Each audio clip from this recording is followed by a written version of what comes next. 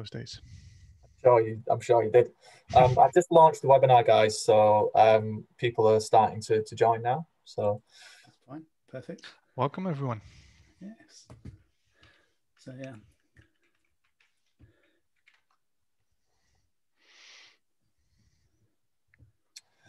Welcome, everybody. Thank you for joining us today. Um, just bear with us a couple of minutes. There's a lot of people signed up for this webinar, so we'll just give everybody a couple of minutes um, to join before we get started with today's session. Yeah. So Sarah, then cooking. While else is waiting, come on then. You've got to give us some secrets. I don't think I've got any secrets. Um, I think make sure your oven is preheated. All right. Um, so I cook. I cook without eggs, so making sure that your batter goes straight into the oven at that temperature.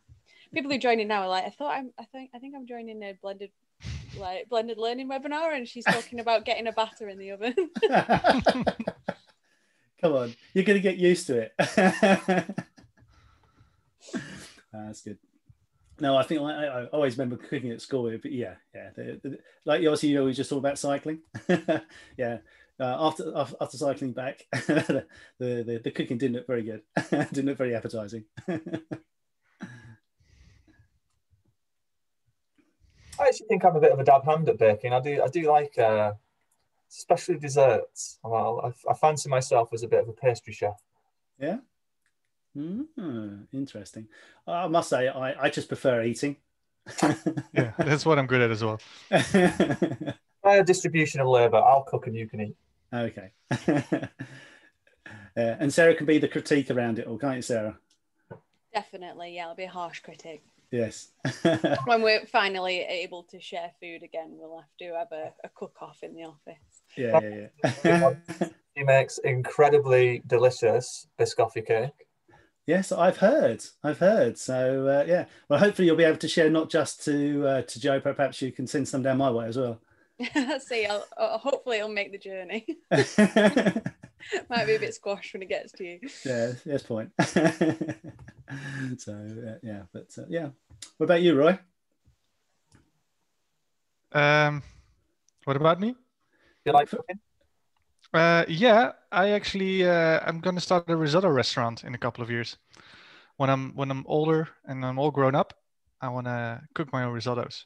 Just like two or three each day, and then just serve with perfect wine.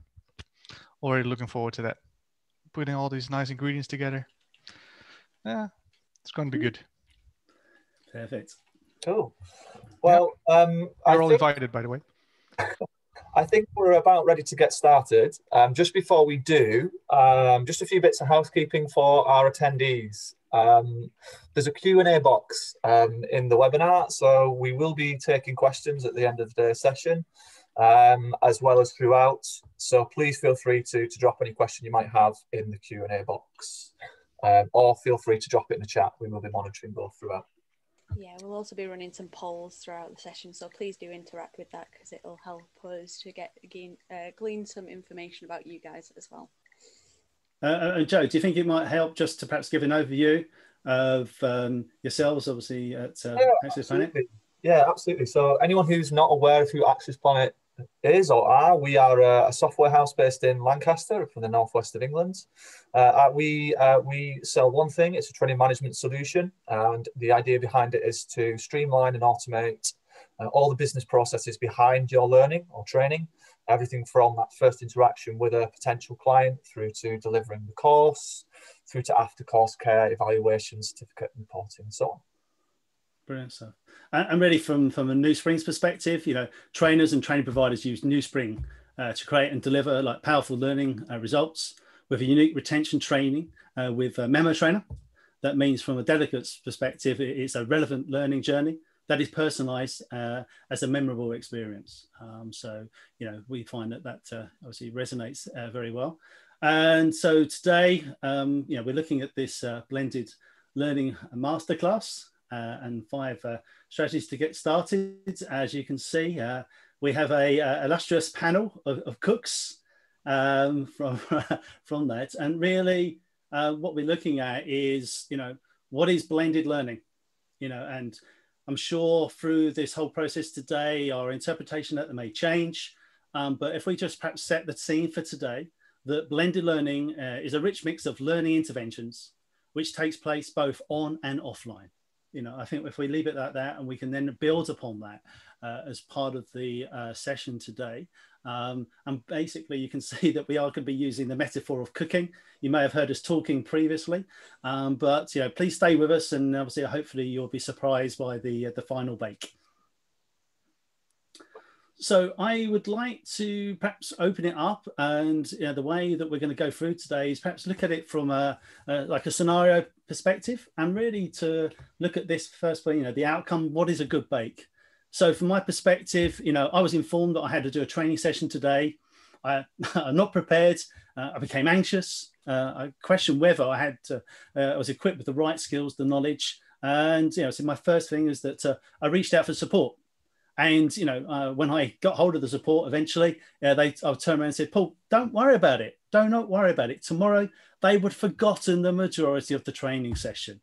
so I thought, hey, strange behavior, but so then I got to think, you know, to myself, is that a good use of my time, of costs uh, involved in uh, doing something like that? So really, I took upon myself really to look at it and change uh, these attitudes and look at how I could differentiate the business, the culture.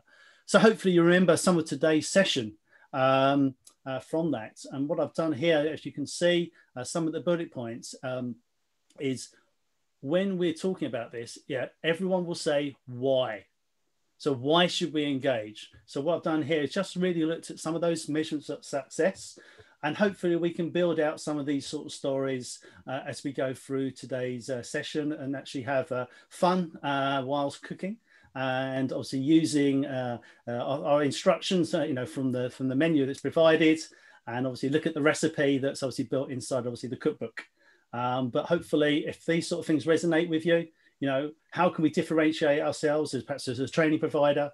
You may be looking for savings. If you're looking at it from a learning perspective, you may be looking at either time to competency as well. So hopefully you can have some takeaways uh, from this literally uh, using the food analogy.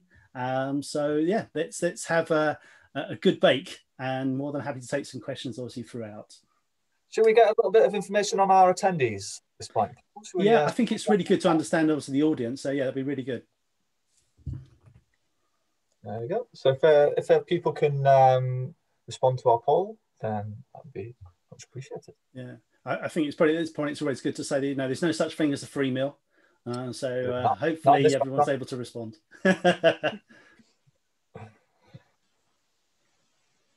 you did say that we're going to get all the audience to actually to manage the whole presentation today, uh, rather than us actually look at obviously the cookbook. So uh, yeah, they've got more in store. Absolutely.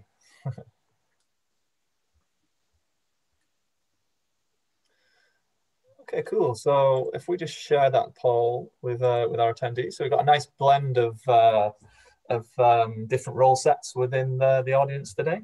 Mm -hmm.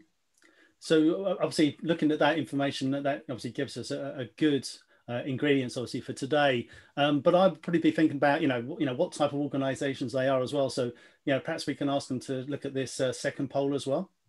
Yeah, absolutely. Uh, let's just quickly on to question two. Just bear with me. Yeah, no problem at all. Uh, so, I mean, if we look at this, this is really, uh, from my perspective, making sure that we understand the, the audience that we're actually cooking for, and obviously the ingredients, obviously, that will be most prevalent to these uh, uh, people that was going to walk through the door uh, and obviously enjoy the meal today. So, uh, thank you very much, obviously, participating and providing responses in, in the poll. Yeah, we're almost uh, we're almost there with our second poll. So it's quite exciting. This it's like being it's like going back to the to the American election, isn't it? Seeing how to see these results flying in. Hopefully, it won't take us a few months to, to sort it all. yeah, uh, I might say mine in in the post. okay, cool. So, um, do you know what? That's uh, that's quite interesting. Uh, look at how even that spread is between uh, instructor led and already offered off already offering blended learning approach. So mm. quite interesting stuff. Yeah, yeah, it looks like a perfect sandwich. Excellent stuff. So yeah, thank you very much for that. So I think that helps us obviously build uh, the theme for today. So we obviously looked at the, the introductions, and now what we're going to look at is obviously how we break that down uh, to make it meaningful. Um, and we see that as a, as a journey um, of uh, exploration uh, from that perspective as well. So I think what we do, obviously conscious of the time. So I think what we do is now perhaps open up the cookbook and see what we're going to actually have here. So really opening up, you know, what takes your fancy. So from my point of view, um, I think it's important um, yeah, to look at it from a, a training provider perspective and uh, build on my experiences as well. So I had the privilege of uh, working for the Fire Service College as a, a training provider.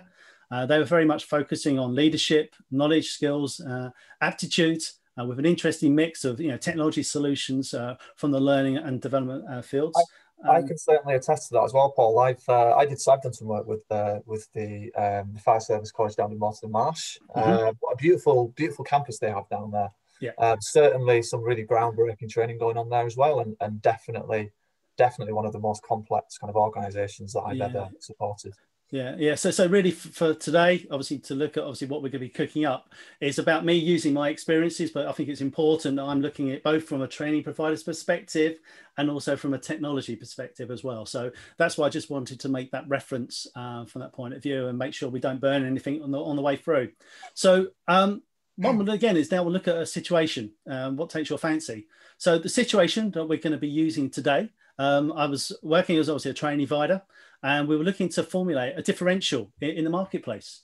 Um, the, the challenge was to reduce the current course duration from 12 weeks to nine weeks. Historically, we had instructor led uh, activities uh, requiring considerable resources, equipment, uh, and multiple instructors. It was a competency based uh, against the national occupational uh, skills and evidence based with inside the standard operating procedures. So, looking at it from a business perspective, a business metric, it was very much about saving uh, in the course delivery. Uh, another business metric was the, the dropout rate of delegates. Uh, and then a really important critical point uh, of the actual learning, it was a collaborative team exercises.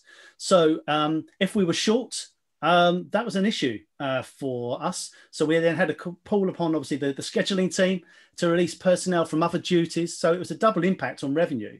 Um, because if you look at it from a learner perspective, I'm looking at the time to competent. Um, so I have an engaged delegate and then for a successful course completion. So these were the sort of really the criticalities that we were looking at. Um, if you can imagine though, it's like, hmm, where am I starting? So always think about it if you've got a map you know so uh, i know where i am today and i know the end objective uh, that i need to achieve so whether it be a job based tasks operational frameworks or competency conditions that are being applied to that you know it, it's really important. But equally important is that uh, we have a map and uh, i don't mind openly admitting if i've got a map sometimes i do get lost. Things do not always go right. And so as long as you're putting uh, mechanisms of feedback uh, that is so critical uh, when you're looking at a very much a blended approach to have valid and constructive feedback because you will need to do fixes um, from that perspective as well. So make sure you're equipped. Uh, and another key point that you know at this point is is really critical to engage not only the um, the delegates but the business sponsors, the stakeholders, the instructors, and the line managers because everyone has an equal part to play. Uh, and that's really what I wanted to sort of encapsulate. And obviously, look at the tips that we provide. You know, small steps, big impact. You know, don't think about a massive change in, the cultures overnight. You know, you've got to be very much conscious of your culture, but equally have a map and a direction of that travel. And really, from the you know from a travel perspective, you know what we want to really see uh, is that what is going to be the next step. So the next step could be selecting your ingredients. So I mentioned, you know, being conscious of your culture uh, is so so so important. Why? You know, you know, you may get the feedback. Well, you know what? We've always done it this way, which is very very true. But we know that everyone now is facing challenging times. So really, the old ways don't open up new doors. We have to think about things differently. So if we can take about that point, and as I mentioned about engaging obviously with you know the, the business sponsors, the stakeholders, the delegates, uh, and line managers, you know, and the, you know, and very much to the point we use now here uh, is conducted uh, interviews um, with uh, the instructors, you know, and you know this is a point really to what I'm trying to explore is that talking to people uh, that could be your potential participants, um, your delivery mechanism is so important. So part of this exercise, uh, I took upon obviously to interview every uh, stakeholder inside that operations and talking to instructors. You know, I found that they were frustrated. They were not being listened to. But what was equally important, that they had great ideas for improvement. And then they said, well, you know, the equipment fails, it's not meeting objectives. You know, we, you know, resource availability is an issue. And end of the day, the instructors, you know, they had to create feedback to the delegates and action plans, which was consuming hours in the day and sometimes evenings. So not happy, not happy whatsoever. So, you know, and plenty of paper chasing at that point, uh, you know, for that thing to really come through to it. So delegates, you know, they they were sort of providing feedback and initially, um, you know, the experience is, ah, oh, yes, it, it's, you know, it's, it's great. But then you always get back to the old happy sheets of like, you know what, yeah, I'm dissatisfied with the food and the venue, you know, on, on the happy sheets. We take that, you know, we you know, we have to sort of take that feedback and obviously change. Um, but one thing that was quite apparent um, in this particular situation, uh, talking to the instructors, that they said, you know, no progression in repetition. I'm thinking, okay, that's not a language I actually understand. What does that really mean?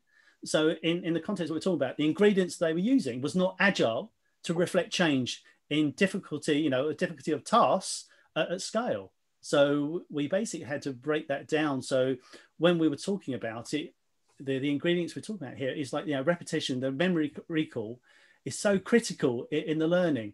Uh, however, you know, the scenarios they were using were expensive, operational costs for the equipment, you know, requiring those instructors. And there was a lot of wasted time, obviously, with the delegates, they're just waiting around to practice their learning. Never mind the environmental costs of water literally just going down the drain. So there had to be a better way that better way was a blended way. The use of offline, online, uh, questioning, testing, e-learning, feedback that was dynamic, perhaps using media such as video, discussion boards, simulation, and don't forget everything, what we all like as well, is have a good chat over the tea break as well. So make sure that uh, in any program, make sure you've got some good breakouts and some good tea and biscuits. Um, so really the breakdown from what we're looking at here really is that uh, the, the, training plans, you know, look at the frequency, the importance and difficulty of the training and alternative ways to deliver, not at the expense of quality and the delegate experience. Uh, you know, stressing again, we talked about some of the business metrics here. You know, the course delegation completions was a business metric for final payment for them. So ensure that you've got an engaged delegates on your on your program. And again, um, as you can see, um, looking at uh, the the points. Do you know what, Joe? You, are too eager again with the cooking, mate. I'm, I'm sorry, I just don't know what's going on here. But um, if you just take to the point with the tips, you know, just take some further reading and research around the 70-20, you know, obviously from the Institute with uh, Charles Jennings. There's some really valuable information that I urge you to look at, obviously, when you're taking uh, this this journey. Um, so I'll, I'll push it back to you now, Joe, with that, that next poll. Yeah, sorry about that, Paul. Um, a bit quick on the quick on the, uh, uptake there. One thing that um, that you mentioned there that I think is really really central and certainly something that AccessPlanit are um, always consider best practices to include your you know your facilitators, those people that are on the ground delivering those courses day in day out. Mm-hmm. You know, not including those in that in that kind of in that bake, then you know you, are really missing out on that kind of vital information from them. So that's yeah. certainly one of the takeaways that I took from from from that. And as I say, definitely something that, that AccessPlanit encourage um, all of our clients to, to really kind of engage with their with their facilitators and service providers. Yeah, yeah it's some definitely... of my customers have had like really really good feedback from their from their tutors um, and been able to implement the, those changes really quickly. Yeah, it's really about best practice. So yeah, definitely so. So yeah, so I think obviously that obviously leads quite nicely into you know from the perspective of everybody here today about your own uh, learning interventions. Uh, you know, what do you see predominantly? I think it's really important uh, just to take this point uh, in time to think about that. You know, it's not all about technology. The fact is that I know many many organisations are still very much paper based. Um, they produce handbooks, obviously for the new starters. Um, or the right to the other way. Do you know what? I, I was talking to some uh, a team in, in America. We have a PDF. That is our training. So that's fine. That's great. You've got a great structure, but now you need to bring it to life with different interactions. You know, even if it's um, how do I appreciate obviously the good comprehension that you've got of a particular class. Ask them to them to record it and then send it back to the uh, the instructor or the facilitator on the program. So um, yeah, Sarah, we obviously got a good good response here again. Yeah, interesting to see um, preaching to the to the converted to yeah. the 14 people already offering blended. That's absolutely fantastic plenty of people still with instructor-led classroom-based training, um, which certainly jumps out to me, um, and e-learning there as well, um, quite high on the on the uptake. Yeah. yeah. I wonder if this is the e-learning and online stuff has taken an even bigger surge this year, especially. Yeah, I mean, I, I certainly think um, with the current current kind of situation, that's you know it's, it's a real opportunity to innovate. You know, it's it's thrust upon us. Uh, we have to be dynamic. You know, we have to make change, but that doesn't necessarily have to be a bad thing. But uh, you know, innovation comes out of these kind of times. So yeah, I think yeah. there's been some really big changes actually of mindset uh, mm-hmm. within the industry, and I think that's only going to continue to to, to uh, into next year and beyond. Yeah, and I saw the the pit obviously from Lee uh, Inskip as well. So yeah, a very valid point that actually Lee just made as well. So uh, and hi Lee, I haven't seen you for a long time. so that's really good. So uh, thanks for for that uh, participation um, at that point. So I think perhaps uh, let's move through the the, the cookbook um, and see what we can actually start to sort of construct uh, at this point. So what we're looking at here is uh, very much the uh, preparing um, of the course. So from my point of view, you know, some really strategic steps that we have to look at. So it would be uh, analyze first, apply what works, make sure you use innovation, which then basically gives you a, a blend that's reality uh, and the blended learning, then it will equal the savings. So if you can follow some logical steps, a systematic way of, of training uh, is, is very key. So um, what it is, is like, you know, how do we change, you know, we have to, before you change anything, make sure you can measure it. So I would say, you know, first point is that uh, first conduct an assessment. Look at the prerequisite of the knowledge, the skills um, of the delegates. You know, look at it as perhaps a screening process you know, uh, the testing uh, of those different interactions could be anything from open questions, multiple choice, all different styles uh, to meet and obviously support your um, uh, delegates because we all learn in different ways. Um, so it could be like you may want to use like a visual stimulation, you know, matching questions, as I talked about just a minute ago, the use of video. You know, if we've got a problem, you know, where do we go? Uh, we always look perhaps for a video. But obviously, in this scenario that we're talking about, we also had the capability of having physical testing. So, uh, from my perspective, you know, what a great uh, blend you can actually have. I'm not saying that every day now at work we're all going to do 15 minutes of exercise. Um, but what I'm saying is that uh, get the right blend for you as an organization. Um, very much so. And uh, that will probably come on to our next workshop. We'll be looking at a marathon, not a sprint, uh, for organizations uh, looking much uh, for a blended approach. So, what we're looking at here is uh, a structured approach that is looking at it very much from a situational awareness of the environment to reflect the real world. So, it has to be relevant. You know, that is one of the critical things here that we're taking through. Um, it's got to be relevant to the delegates. Um, so we have organizations that, that, branding is important. So you're taking ownership, uh, that it is very much a personalized learning journey. The, the of concept and, and in this context, you know, they was looking at chemical uh, composites as well. So you're bringing in the science and then they were looking at the decision-making model as well. So there's, you know, very much the technology, uh, the science behind it, and obviously the motivations. So, um, but build that all together, you're having very much like a team uh, concept of, of, collaboration for like, problem solving, you know, uh, and the training, you know, has to be relevant and progressive repetition as well. So look, keep reinforcing it with lessons, with learning and assessment. And the critical thing is don't keep giving them the same information because it's not progressive. So look at the dynamics of it actually working to reflect the progression of their learning because they're all working towards an end goal. It could be uh, certification, it could be a compliance requirement for an organization. So make sure that your end goal reflects the learning pathway of those individuals. It's meaningful and it's personalized. So I would take away, you know, one tip, and obviously several tips again, is to, to build into the delivery that is personalized, adaptive, you know, and, and social communities, uh, as you can see, was very much listed in the global survey most recently with uh, the LPI. So again, you know, the, look at the tips at the bottom of the screen and really have a look at that and make sure that it, if it's reflected to yourselves that you're aware of it and see how you can actually apply it. And really, you know, we're getting to a point here where, do you know what? I want to start spicing this up. I want to add more flavor. So, uh, Joe, fantastic for that uh, prompt. but um, what I want to look at is, you know, from my perspective of looking at how we're getting to a good bake, you know, a great bake, an award-winning bake as well. It is um, looking at the the flavoring and, and so the essence. Um, you know, we would now just complete a deep dive to the preparation of the course. It's mapped to the learning objectives, the critical tasks, you know, for the right blend of the environment at the right time in the in the learning. Um, we did take one one instance actually. Um, you know, I, I, said, you know, do you know what? We don't always get it right first time, and it's good to learn from the from the learnings. So a situation um, that I was aware of as well is that um, there was um, an idea to replace obviously the real life scenario with a computer simulated environment. You know, it was leading technology, uh, wraparound vision, avatars, and the, the interactivity was based on behaviors. However, it was technology leading, not client leading. So just because it's got all the bells and the whistles doesn't mean to say it's going to address the core competencies and the practical application which required.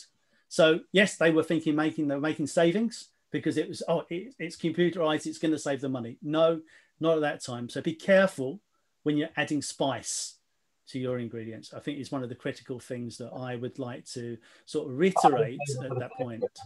Not you know, there's got to be a reason for for why you're adding that flavor. Uh, absolutely, uh, and also you know, it's like all of us, you know, the, the ingredients can also be used in multiple recipes. Um, so one thing that I have learned as well um, is that, do you know what? I, am doing, uh, I'm putting all the ingredients together. I've got one bake here that's, you know, it's a, a lovely rock cake. And next time it's going to be a Victoria sponge, but there's some same ingredients, but I want to repurpose those as well. So one thing that I uh, have learned as well is that the approach to look at it very much as a modularized approach.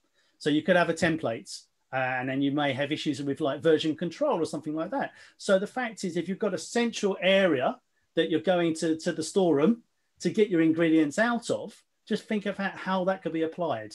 Um, because if you're looking at a training portfolio and you've got loads and loads of training and you've got the same instance happening in one course, then you go and recreate it again. Well, that's not that's not a good use of the ingredients. If you've done it before, then just reuse that again in a modularized approach uh, to be effective and cost effective uh, in, in, your delivery. Um, so those are the sort of key things I've been thinking about. Obviously, when I've been making my bake, uh, again, you know, we look at the, the tips down there um, because you know the fact is of adding the the flavor. The critical thing is I want to make it memorable. I want to come back again. I really enjoyed the taste of that. So I want another bite of it. So when you're actually cooking up a storm and whatever they may be in your bake, think about it from the end recipient of is it going to make them come back again? Make it memorable. Um, and equally, bring your whole team with you. Don't just do it in isolation. Involve all the team. And I'm sure then that would obviously help you with the design and the structure of your bake um, very much, but keep it modularized um, from that perspective. So, you know, this is making me hungry uh, in some respects, and I'm getting to the point I want to start serving something up. Um, so, what we're looking at now um, is what happens next. You know, we, have gone through, we've we've looked at the, the ingredients, how we apply the ingredients. We've looked at the environment we're actually going to provide this in as well. So, but how do we know? How can we validate it? So one thing that you can look at is obviously looking at it from a test, pilot your courses, pilot your bake, um, but also consideration definitely must be given to the technology, the science, and the motivation. So in the world that we live, um, we're in a world of acronyms and assumptions. Yeah, so you will hear terminology of uh, TMS, so your, your, your, training management system. Yeah, if, if you're looking at, oh, I, I need to get an LMS because that's what everybody else has got. Well, what today, what we're talking about is very much that whole learning experience and a platform for that. Uh, and we know that the value of having a, a TMS involved in our organization to provide that holistic support for us to be effective. But equally, what we have to think about is the experience that we're going to take once we walk through that shop and we have all those cakes. How am I going to know which one I'm going to take? You've got to make sure we can actually do a bake that is differential, very much obviously in the market space. So that's the element of the, the technology, the science. So uh, one thing that I, have taken from my, my experience is ensure it's educationally sound, based on theorists, you know, the you know the forgetting curve. You've got Dale with the learning cone as well, and Bloom's taxonomy. There's so many things out there. So research is so important, and get the right mix. Um, and you know, when we've been talking about piloting, you know, make sure that the people that are piloting reflect obviously the end delegates. Um, so when we're looking at it from a point of feedback, you know, some people struggle. Um, Sarah, you know, it gives me, shall we say, feedback, but I wouldn't say it's always very constructive. Uh, I, am hurt. Uh, I don't know how to deal with that feedback. So what I want to think about it is what tools am I going to give the people that will be testing this out? I want constructive feedback. I don't want to say, do you know what, Paul, you've got a soggy bottom. That doesn't help for me. So really, from my point of view, look at it uh, and structure it out from a behavioural, uh, a situational, and the impact, and look at those criticalities, and then look at that also from a constructive point of view. Um, and as we said before, don't think it's just the recipients. You know, look at the managers, look at the line managers, look at the, the senior management team as well. Get their inputs because they will have a different view, uh, as we talked about the business metrics against the learning metrics. Um, so I'm uh, just starting to, to, get to the point where, well, we talked about the main things, um, but the other thing that is so important and sometimes does get over shadows is uh, motivation. So technology, great, get the science, it's educationally sound, but what is the motivation for doing this? So, um, and what we could say is the motivation for me as an individual, I'm a delegate on a course. My motivation is I need to get that certificate. I need to get that badge of honor. Um, but equally, think about it from the business perspective of the reason I'm doing that is because I need to be a differential in the market space. It's, it's a very competitive market space. I need to ensure that that's meeting the criteria for me with this investment. How do I change my cultures? How do I bring in a differential? And how do I make it memorable? So memorable is just not the learning experience, it's the, the experience of an organization. We look at it, you know what? I went to that shop, and that was a memorable experience. So that that's so so so important. Um, so what do we sort of take from that is that the um, feedback is so so important throughout. It is one of the critical elements that we need to to, to reflect and how we build and how we spend time building a successful project. So um, I would like to sort of probably come to a, a, point where I've probably been doing quite a lot of the talking. Um, and I really wanted to sort of uh, give you the opportunity to sort of think of other sort of questions or other thoughts along that uh, process. Um, but equally, we're getting near Christmas, and from my point, you know how I would like to sum it up, and like as I said at the beginning, uh, it has to be a memorable experience. So we're basing it today on uh, a cookbook. You know, I don't know about you at Christmas, but you know, um, I love to give out uh, a gift and sometimes, you know, there's no better present than, than a cookbook.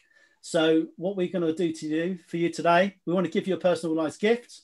And please, um, we have a, a, QR code on the screen. You may have your phone available for yourselves, but equally after this webinar, we will send you a link so you can get that free resource. Because uh, I was talking to Joe, and I'm not saying Joe's tight, uh, but he's got a quite a large family. And um, I think you want to give out five copies to your closest uh, loved ones. Is that correct, Joe? Absolutely. Don't worry, I am tight, Paul. I'm, I'm from the north of England. I'm very tight. So yeah, everyone, in my entire family is now getting the blended learning cookbook for Christmas. Absolutely. Thank but you. but most critically, Joe, as well, is that yeah, we have the cookbook. So hopefully you remember that part as part of the, the journey today. But you know, think about the ingredients. So yeah, we have the master chef in between that. And really, what are we looking at as the end game? It has to be memorable, has to be fun, enjoy it, but make it a memorable experience. Um, so I just wanted to use the time that we have today to just uh, touch on a few of those things, and we can obviously take a deeper dive or take any feedback or follow up with anyone uh, after this webinar. Cool. Yes, we have had a question through from uh, from Gregor in the in the audience. He's asking, uh, have you given thought on how to evaluate the impact for the online elements if your clients come from a range of customers? Okay, uh, Roy, is that something you want to uh, tackle first, or shall I? Um, yeah, it's always an, an interesting question. Evaluating impact on on learning. Um, of course, you have the the standard. Uh, how do you? Oh, sorry. Uh, you have the standard. Uh, how do you uh, feel about the course? What grade do you give the course? But in the end, what you really want to measure is the impact on the uh, on the job itself. So, did the learning transfer to the job?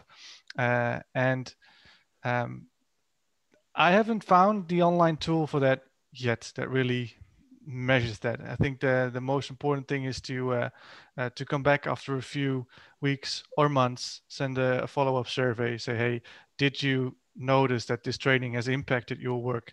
Um, why? If so, uh, why? And if not, uh, why not? Um, I think that can be a very interesting question as a as a follow up. Um, of course, one of the most effective things to do is to just go to the job, uh, see how they're doing and, and how they're acting now. Um, but yeah, when you have a range of customers coming from all different kind of uh, companies and workspaces, that's uh, that's a difficult one.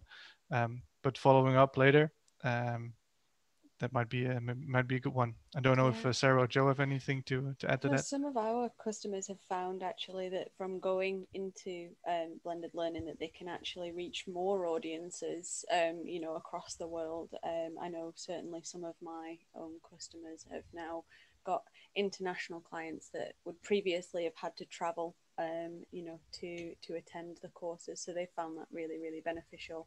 Yeah. Um, and they can use that blended approach to to manage that. Yeah, I would, I would, um, I would, uh, I would kind of agree with you, Roy, to to a large degree in terms of that kind of feedback process. Um, impact, impact, you know, three, four months after they've taken the course, you know, whatever that kind of time frame looks like. I would also, I would also strongly recommend a pre-course survey. So you can, um, if you do something like a Likert scale style questioning, you can, you know, you can ascertain the level of understanding before the course, and then after that course, you can compare and contrast the results. Um, if their understanding's gone up, then you know you obviously know that the that the bake's good. Um, six months later, uh, you'll remember, you know, you'll see how how remember how how memorable it was. You know, if that's dipped, that's just an opportunity for you uh, to go back to that client with a different, you know, with a different option to for them. Um, and if it and if it hasn't, you know, if it's still at that same level of of uh, of understanding, then it just gives you an opportunity to sell them another another yeah. cake or another bake. Yeah. And an important one is also to let people think about the uh, things they want to achieve in a training beforehand. So ask them before the training starts, what is your main your main learning point for today? What do you what is your main learning goal? Um, and then let them reflect on that afterwards. And then indeed do that in two, three sessions, uh, spread over a couple of weeks, and then you'll hopefully be able to track the progress. Yeah. Perfect. Yeah. Uh, one point I would just add on as well, just wait, after the event, just look at the frequency of contacts as well to make sure you're reinforcing uh, the learning. Um, it is really, really important as well because uh, you put the investment in for, for the learning, um, but obviously then you want to look at that retention element as well because we always talk about the transfer of the knowledge back into the workplace. So look at mechanisms uh, that will look at the frequency element of pushing uh, relevancy uh, to that individual and also we talked about the medium of uh, e-learning, but that could be any form of, of, a training resource. Yeah, we've got another quite interesting question come through from the uh, from the audience. Just before we move on, um, we have had a recommendation for anyone who wants help with uh, with this. It's the Phillips ROI model, uh, which if you Google search that, you'll get some some insight into uh, kind of measuring that. Um, question for the group: How important would you say the use and choice of software is on the success of a blended learning strategy? It's very important, I would say. it's uh, um, and especially the the use, um, and that, that's what Paul also talked about in the beginning. Uh, talk to your uh, your people. How would they use a platform like that? What kind of learning would they prefer? And then you can also base your choice of technology on that together with the learning objectives you have defined together with with the taxon- taxonomy of bloom for example um, if if there's a lot of uh, evaluate or create uh, that needs to be done by your learners instead of the knowledge absorbing, then it takes a very different tool to uh, facilitate that kind of learning. So it's really important to know what kind of learning am I going to do, uh, what do my uh, delegates feel comfortable with, uh, and then uh, yeah, make your choice based on those those things. Mm-hmm. Uh, and one thing I was thinking about as well, Roy, is is the whole element of how it progresses as well. So mm-hmm. you know, so you know, the difficulty element uh, within inside of that um, sort of concept uh, is quite important as well. Because if it's repetition of just learning the same stuff, yeah, that's great. But it's how I progress myself through that because I'll be looking at it from a, a professional development perspective. You know, uh, both from from how I uh, perceive obviously in the workplace, but also my own personal uh, learning as well. Yeah. Yeah, and the, there's the blended learning strategy that was specifically in that question, and I think that's also a very relevant one because you really want to blend your uh, your learning. You have the virtual classrooms nowadays, you have the online learning, uh, but you also want to make the online learning come back into your virtual classroom, and you want to uh, reflect on what happened on the online part. Mm-hmm. Uh, so getting a platform that really can integrate those two things and and uh, yeah, it's really uh, really helpful, I think. Cool. So this is quite a contentious one. So looking at, uh, you need to rank these three things in terms of importance. Now, it might be quite difficult. Number one is content. Number two is delivery technology and styles. And number three is delivery mix. So how would you rank those three? Which would you put top, second and third?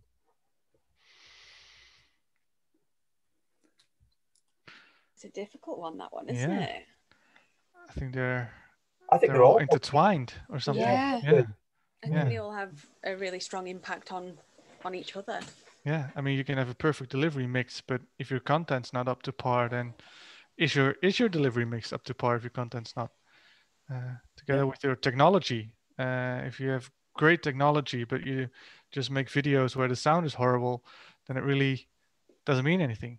Mm-hmm. Um, but next to that, you can have great content, but if it doesn't work on a screen because your t- technology is not working, well, um, your content's worth nothing. So I think it's a it's a mix, and um, yeah.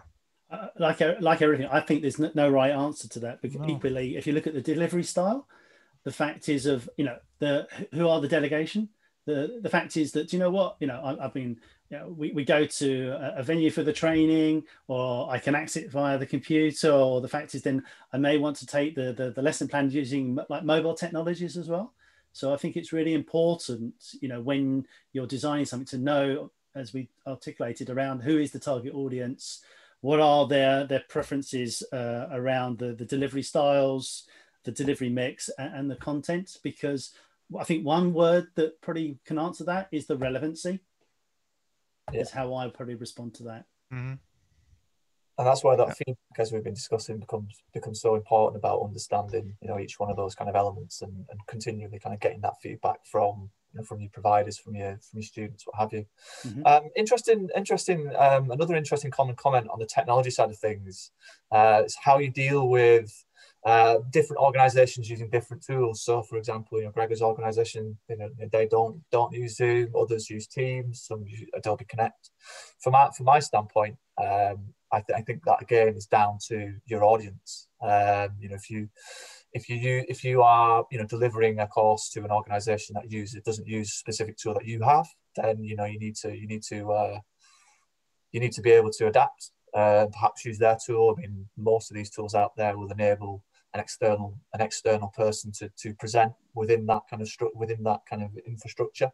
Um, so I think it's just about being adaptable uh, for me. That in terms of uh, in terms of what technology you're using and what technology you have open to you. Um, I don't know if anyone else has got any thoughts on that. Yeah, I suppose I, our um, some of my customers have taken the tactic of just um, as soon as the customer is sort of booked on the course, communicating what tools to expect. You know, on the uh, um, on the day and you know preparing them for that this is what you'll need this is what you you know we will be using um, and then to like requesting to get in contact if there are any problems with that and just making sure that your delegates have got the most info that they can I mean, Sarah, would you say then it's really trying to set the, the, the expectation? Um, so, you know, and obviously then reduce any sort of anxieties um, because it may be new technology to them, but not for others. Um, have you sort of had any experiences around that?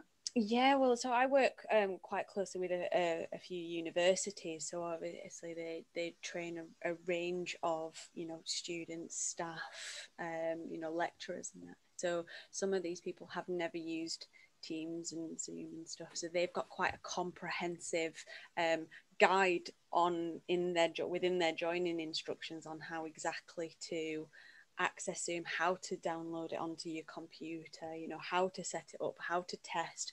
They've got a really comprehensive guide in there. Mm-hmm. Uh, another thing that I, I, found as well is that uh, they, if you just go with the like the Zoom or the, the, the Google Meet or something like that, it, it, you have to be very conscious as well that you're not, that is not replacing the the interactions or the immersiveness of, of the learning as well.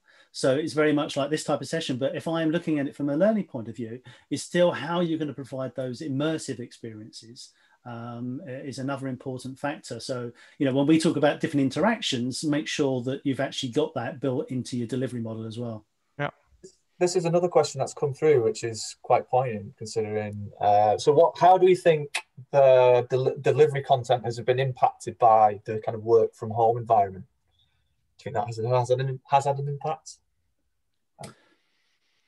I mean, from my perspective, um, it's had yes, it's had an impact, and from my conversations, it's accelerated the thought process yeah. uh, of organisations. Do you know what?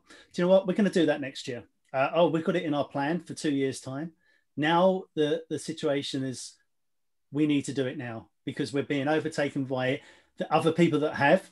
Um, but the, the the the issue is to make sure that when you do take that step, that you've done your research and you're actually going in the right direction um, is really important because as Sarah was talking, you know, from uh, an educational perspective of universities, well, they have, you know, use of like virtual classrooms has different functionality to using it as a webinar. Um, I was doing a situation with a, uh, in the aviation sector where it was a simulation business and they said, you know, we've got a dispersed um, pilots basically sitting in hotels costing us an absolute fortune we have a simulator that's um, uh, fixed location because we normally have classroom activities. So then it's like, do you know what? How do we use this technology that we're talking about, but still have the immersive experience? And they were talking about streaming content as well. So again, it's sort of thinking about the adaptations um, that you want to use to ensure that you're actually meeting uh, the learning objectives um, from any mechanisms or any media that you're actually going to bring to the fore. Yeah, this it's interesting. We had um, talking about that. We have a, one of a, an organisation that we work with. They they kind of pivoted into online board games in terms of their in terms of the immersive experience, um, playing board games online um, mm-hmm. as a part of their kind of learning strategy. Um, obviously, they used to play them physically and face to face, but they you know they managed to pivot that online, and it's you know for the idea being that it doesn't affect that kind of immersive experience. Mm-hmm. You still get you know the outcomes of the learning are still there you know it's just a different essentially a different medium by which it's it's been shared. Yeah.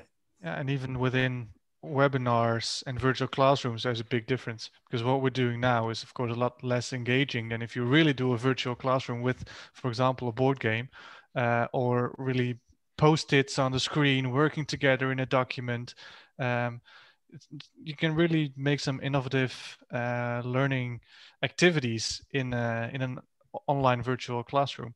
Um, with regards to the question, what sort of software uh, to deliver better content from re resolution point of view? Um, well, I won't preach for my own choir, but uh, I think one of the other ones is uh, Vitero. I've heard a lot of good stories about that. Uh, it's a German-based company who uh, uh, deliver uh, virtual classroom training. Uh, and some of my customers have it integrated with a learning journey in aNewSpring. So you offer content as videos and, and some uh, articles before the virtual classroom. And then you go into that virtual classroom and it offers a range of uh, possibilities to, uh, to get engaging uh, online, uh, online learning. Mm. And then go back to the learning platform and make that the, the blend. Cool. Okay, guys. So we've got. I think we'll we'll have one more question because I think we could probably sit on this uh, in here talking talking for the entire the entire evening. So final question, and it is: Do we think, or does game gamification help with retention rate? I think gamification is really good for uh, engaging with the content and for uh, external motivation, getting level up, uh, getting bonus points, um, uh, receiving uh, receiving I don't know small gifts when you achieve something. Um, it keeps people engaged, um, and if your content is up to par, then I believe that it can also help retention because people will probably practice more with your content since they are more motivated because they want to have the, those level ups for example. I mean you see how uh, for example duolingo works uh, with those levels and with those points. I mean people are hooked. They just want to play it all day long not only because it's so much fun to learn a language but also because you just want to get into a higher level get that streak. Oh man that streak. I've heard people saying i've got a 100 day streak on duolingo. I mean that's a gamification element uh, and it doesn't really necessarily contribute to the learning but it does because people just want to have that streak so yeah um, I, I think not directly but it definitely helps yeah yeah i think um, it's quite interesting in compliance as well in terms of mm-hmm. something that you were talking about paul that kind of speed to compliance gamification you know if you can if you can keep people motivated and keep that retention then it can really help kind of expedite that um, that that's uh, that retention. Um, sorry, that uh, that speed to compliancy. Um, one one final kind of sub question, or, or just uh, just to tack on to the end. I did notice uh, quite an interesting comment in the chat, which was, how do you think? Um, how do what about learners with limited digital skills? So how would we? How, how do you think that how, how do we help people with those kind of limited digital skills i personally think something that sarah mentioned uh, a few minutes ago is really key for this, and that is preparing your preparing your learners for, for what they're what they're going to what they're going to experience within those sessions. Um, and that is you know how you communicate with them, making sure that you know that they're they're aware of what they need, what's going to happen, how it's going to flow. I don't know, Roy, you seem to to think the same. Is that right?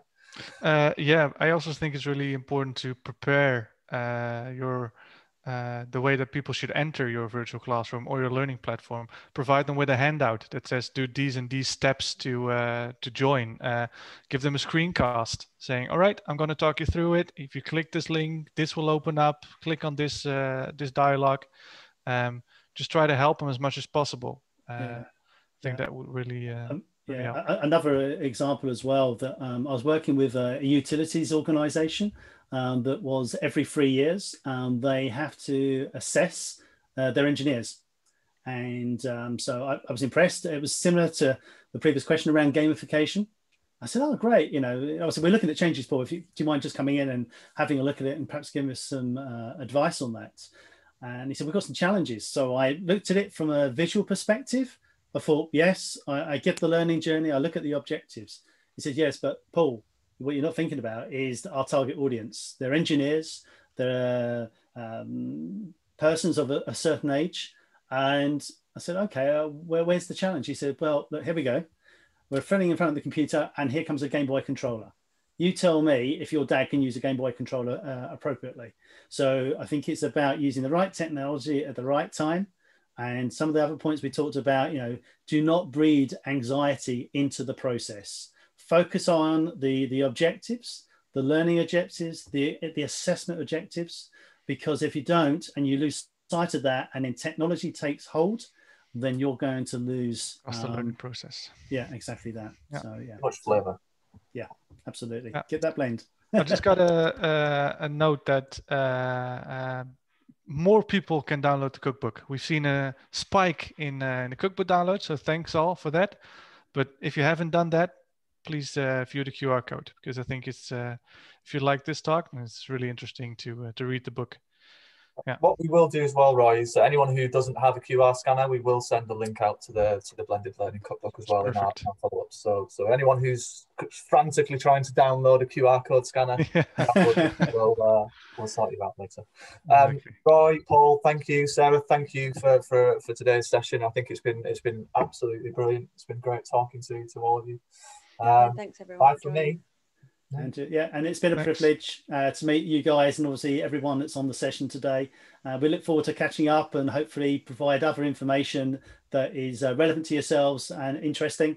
And hopefully, do remember cookbook, Mm. get the right recipe, and make it memorable. So, thank you very much for your time and uh, speak soon. Take care, everybody. Thanks, Thanks. everyone. Bye. Bye bye now.